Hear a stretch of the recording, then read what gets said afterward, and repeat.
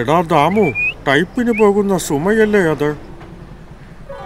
ഏ Dennis bhai hello Ravi ഈ വഷളന്മാരുടെ കൂടെ എത്ര നാളായി നീ സമയം കളയുന്നു മഠയ എന്ത് ചെയ്യാനാ രവി? ഒരു ജോലി കിട്ടണ്ടേ? ഇങ്ങനെ പോയാൽ നിന്റെ ജീവിതം ഡാർക്കായി പോകും. പക്ഷെ നിനക്കിതെല്ലാം എങ്ങനെ സാധിച്ചു?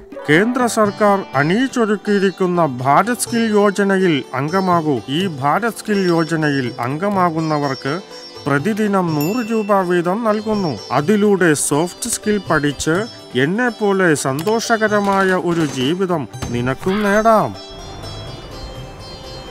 കോളേജ് വിട്ട് അവസാനത്തെ കുട്ടിയും പോയി. ഹേയ് രവി ടൂ വീലർ ഒന്ന് നിർത്തു. ഇവരെ കൂടി അറിയിക്കാം.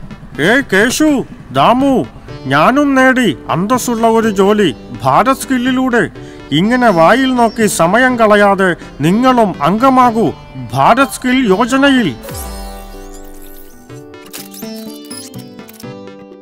സർക്കാർ തന്ന ആ നൂറ് രൂപ പെട്രോളെങ്കിലും അടിക്കാൻ തികയുമോ രവി?